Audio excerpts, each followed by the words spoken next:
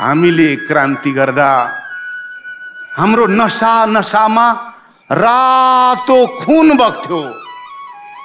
अहिले त पहेँलो सुन बग्न थालेछ।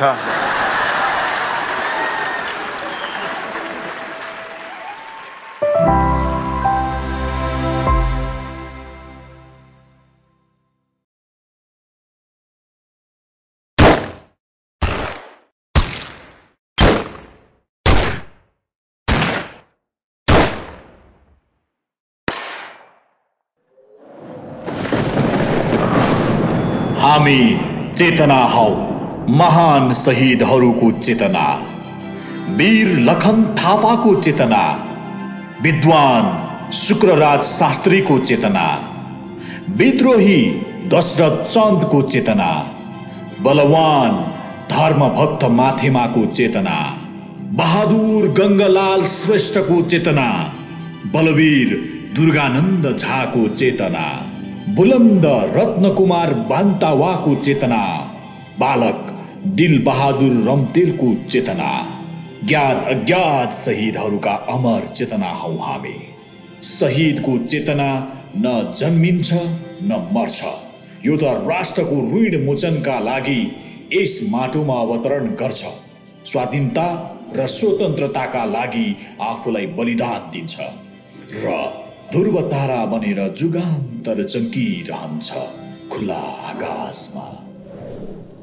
नैनम छिन्दन्ति शस्त्राणि नैनम दहति पावक न चैनम क्लेय दयन्त्यापो न शोषयति मारुता।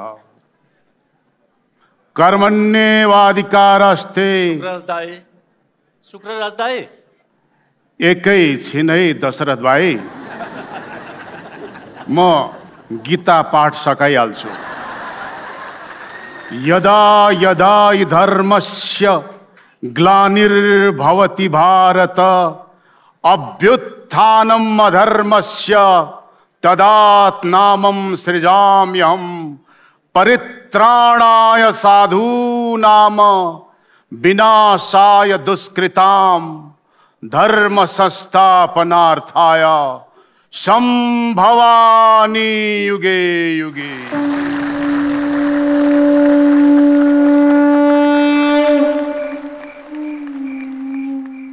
होइन सपनामा बर्बर आउनु भएको कि बिउजिनु भयो? निदाको भए पो बिउजनु त दशरथ भाइ। रातभरि निदाउन पाएको छैन टाउकामा महाराज घुरेर महाराजहरूको कामै घुर्ने हो। वर्षौँदेखि घुर्या घुरै छन्। घुर्न दिनुहोस् दाई पछि समय आएपछि आफै ठिक हुन्छ भए हुन्छ नभए सन्छ।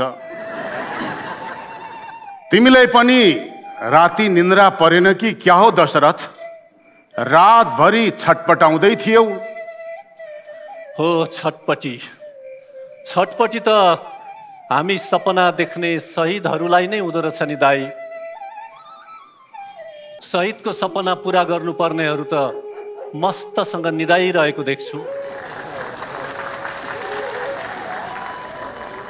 आथा कस्तो चिलाउने माला लगाइदिएछन् आज मलाई? मन्त्रीको हातमा लुतो आएको थियो कि क्या हो?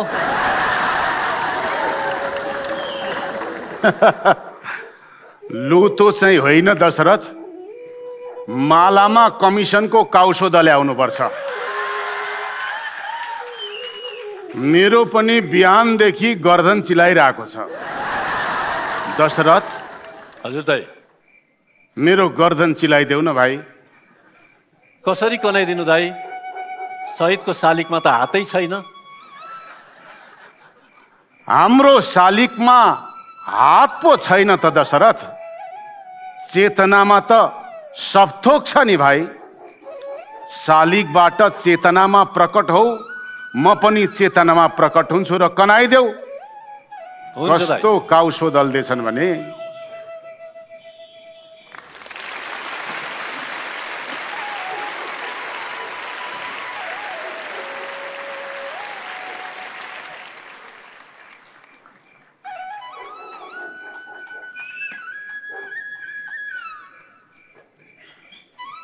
पुग्यो पुग्यो। दाई एउटा कुरा बुझिनँ नि मैले। के कुरा दशरथ यो शहीदहरूको शालिगमा किन हात चाहिँ नबनाएको होला? गम्भीर प्रश्न दशरथ सायद माल्यार्पण गर्न जाँदा झापड खाइन्छ भनेर हो कि?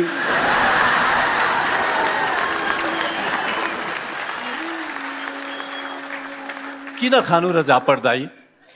महिनै पछि मन्त्री फेरिरहन्छन् मन्त्री फेरिँदै पछि हामीलाई श्रद्धाञ्जली दिन आइरहन्छन्। श्रद्धाञ्जली दिँदै पछि माला खादा लगाइदिइरहन्छन् म त ह्याप्पी छु दाई। तिमी ह्याप्पी छौ त्यसैले दुखी छौ दशरथ। शहीद र माला अन्धकारमा ज्योति छर्दैन भने बाती र पाला के का लागि? अन्धकारमा ज्योति छर्दैन भने बाती र पाला के का लागि निरङ्कुशताको उन्माद मर्दैन भने सिद्धान्तको रङ्गशाला के का लागि। वाह। राष्ट्र भन्ने गौरव नै मासियो भने यी झन्डा नामका टाला के का लागि। देशको मुहार फेरिँदैन भने यी शहीदलाई माला के का लागि। वाह गुरु वाह तपाईँका शब्द शब्द म टिपोट गर्छु गुरु। भावी पुस्ताको लागि गतिलो दस्तावेज बन्न सक्छ। क्या दम छ गुरु? दम छैन दशरथ। खोकी छ। साँच्ची खोकीको कुरा गर्दा धर्मभक्त पनि खोकीले सताइरहेको थियो निको भयो तिनलाई? कहाँ निको हुनु नि दाई झन् आजदेखि त गङ्गालाल पनि कान पाकेर उठ्नै सकेका छैनन्।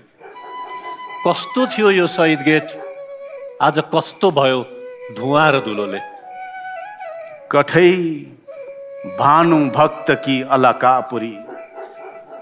धुआं धुलोले धुली मुस्लो पारी दगुर्न्या विदेशी थोतरा सवारी।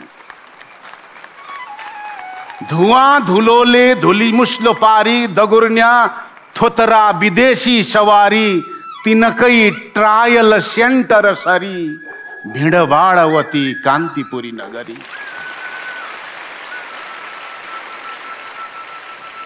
मरिसकेका शहीदको त स्वास्थ्य अवस्था यस्तो नाजुक छ भने मर्न नसकेकाहरूको हालत के होला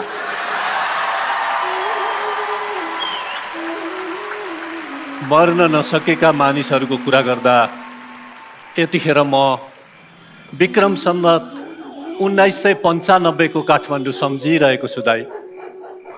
त्यो मङ्सिर तेह्र गतेको दिन थियो। नेपालको इतिहासमै पहिलोचोटि आमसभा हुँदै थियो इन्द्रचोकमा। त्यहाँ शास्त्री गुरुले क्या बुलन्द बोल्नु भएको थियो जिन्दगीको बाजी थापौँ के मर्नु यहाँ गुलाम बनेर? तर आज को ठुलो गुलाम बन्ने भन्नेमा कम्पिटिसन चलिरहेको छ। अहो तिमीले त मलाई क्या नोस्टाल्जिक बनाइदेऊ दशरथ। म पनि अहिले विक्रम सम्मत उन्नाइस सय सन्तानब्बे सालको त्यो कालो माघ महिनाको याद गरिरहेको छु। तिमीहरूलाई शोभा भगवतीमा गोली ठोक्नु अघि राणाहरूले बोलेको त्यो कर्कश आवाजले आज पनि मेरो कान ठुङ्गिरहेको छ। उनीहरूले तिमीलाई सोधेका थिए ए देशद्रोही तेरो अन्तिम इच्छा के छ भन्? तर तिमीहरू किन्चित डराएका थिएनौ। सिंह चाहिँ गर्जिँदै भनेका थियौ कातर शासक मेरो अन्तिम इच्छा सुन्छस् भने कान खोलेर सुन। तेरो मुटु कमजोर छ मुटु थामेर सुन। मलाई गोली ठोक्छस् भने ठोक मलाई मार्छस् भने मार। म मरेर केही पनि हुँदैन तर यो देश मर्नु हुँदैन।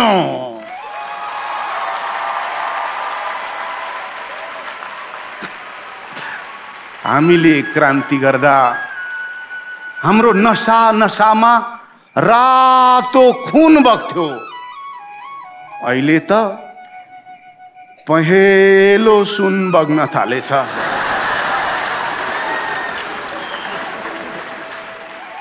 एउटा कुरा नि दाइ तपाईँलाई राणाहरूले त्यो बेलामा फाँसी चढाउने बेलामा तपाईँले भाग्ने मौका पाउनु भएको रहेछ। तर भाग्नुको सटो फाँसीको डोरी तानेर आफै घाँटीमा कस्नु भएछ। किन भाग्नु भएन? वीर अनि मृत्युसँग डराएर भाग्ने यो सम्भव थिएन दशरथ। यदि हामी त्यहाँ भागेको भए यो स्वतन्त्रता आउने थिएन। देशमा सार्वभौमिकता छाउने थिएन। हुन सक्थ्यो यो देश रहने थिएन र यो परिवेश रहने थिएन। हामी शहीद हुन मन्जुर भएका थियौँ ताकि उपरान्त हाम्रा कुनै पनि सन्ततिले फेरि शहीद हुनु नपरोस्। तर यहाँ त अवस्था अर्को छ। शहीदको लर्को छ। शहीद परिवार घाटको न घरको छ। बाकसमा फर्किएर आउने श्रम शहीदहरूको पीडा झन्सरको छ।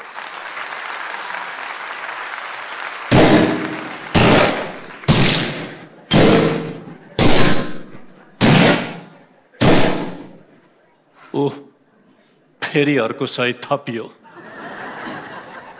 शहीद थपिएकै हो? बन्द गर शहीदका खेतीहरू। अब उन्नतिको चेत जगाऊ। बन्द गर शहीदका खेतीहरू अब उन्नतिको चेत जगाऊ। पुग्यो भोग रगतको माटो समाऊ पसिना बगाऊ। शुक्रदाई मैले यो अस्सी वर्षदेखि एउटा कुरो बुझिराखेको छैन नि। के कुरा? यो हामी शहीदको सम्झनामा एक मिनट मौन धारण गर्छन् नि। त्यो मौन धारणको बेला यिनीहरूले सम्झिन चाहिँ के सोच्दा हो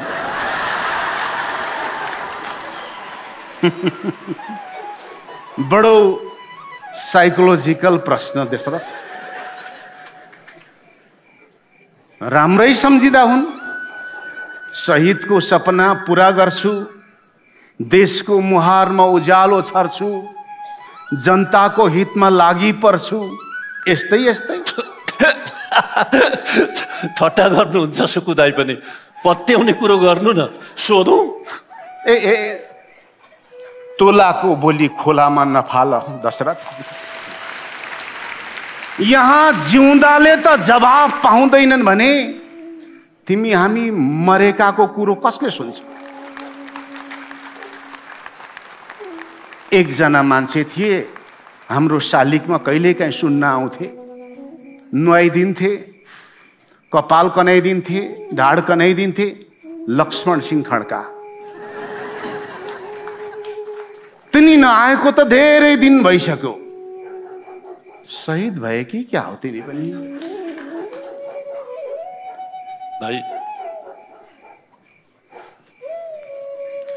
अहो यो शहीद गेटमा बसेको पनि आठ दशक बितिसकेछ। यो आठ दशक यहाँ बस्दाखेरि हामीले के के मात्र देखेनौँ दाई? सात सालमा प्रजातन्त्र आएको देख्यौँ सत्र सालमा प्रजातन्त्र खाएको देख्यौँ बैसठी सालमा गणतन्त्र ल्याएको देख्यौँ धरहरा ढलेको देख्यौँ धरहरा उठाएको पनि देख्यौँ माइती घर रोएको देख्यौँ खुल्ला मञ्च बर्बर आएको देख्यौँ। न्यायालय लर्बर आएको देख्यौँ। मिटर ब्याजी झाङ्गिएको देख्यौँ। सिंहदरबार नाङ्गिएको देख्यौँ। तस्करी र ठगीको जालो देख्यौँ। सत्ता भोगको आलो पालो देख्यौँ। के यी सबै देख्नलाई मात्र हामी शहीद भएका थियौँ दाई? कदापि थिएनौँ। हाम्रो बलिदान जनताको संविधान ल्याउनका लागि थियो। त्यो आयो।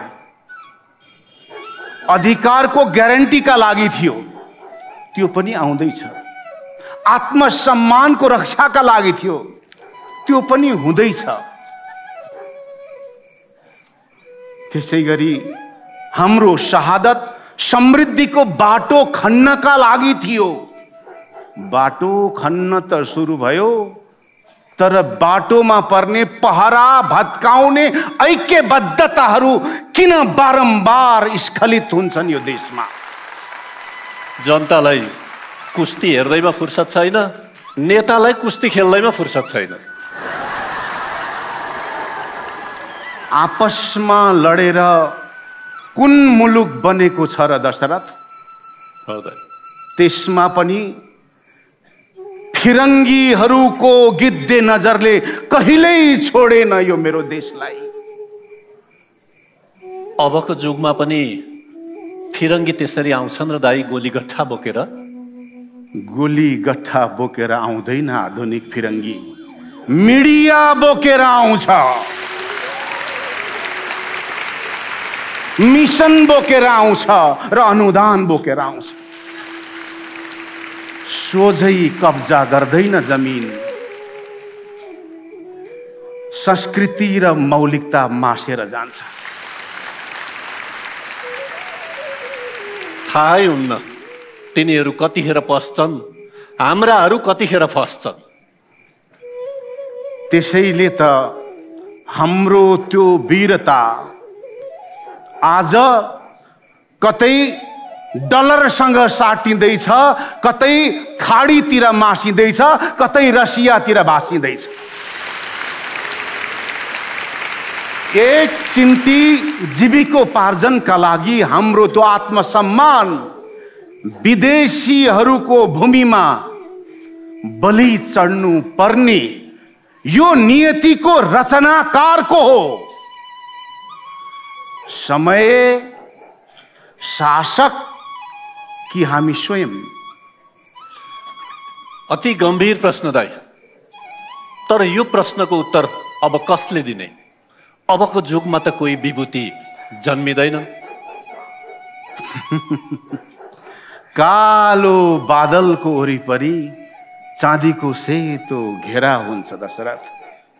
जन्मिनु पर्छ र नयाँ विभूति जन्मिन्छन्। जस्तो जस्तो साम्बाले फुटबल उडाइन् दक्षिण लङ्का युरोप।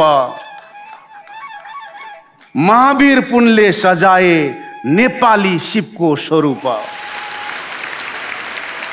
महले यही काट्दैछन् कलाको भव्य मुहान। सन्दुकले यही ल्याउँदछन् दृष्टिको पहिलो बिहान।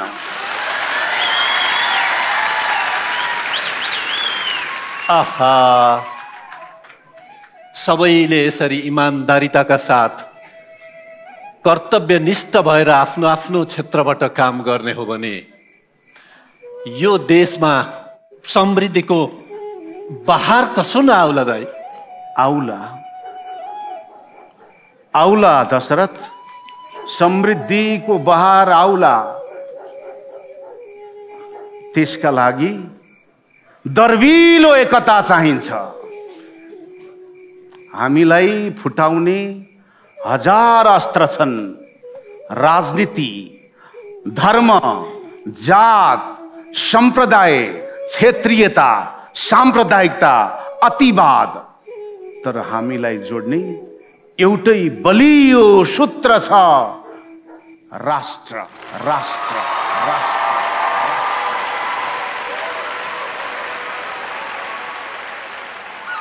राष्ट्रियता इतिहास हो, वर्तमान हो र भविष्य हो। राष्ट्रियता भनेको हाम्रो पहिचान हो र बलिदान हो। व्यक्ति मरणशील तर राष्ट्रियता अजर छ, अमर छ। हरि ओम तत्सत।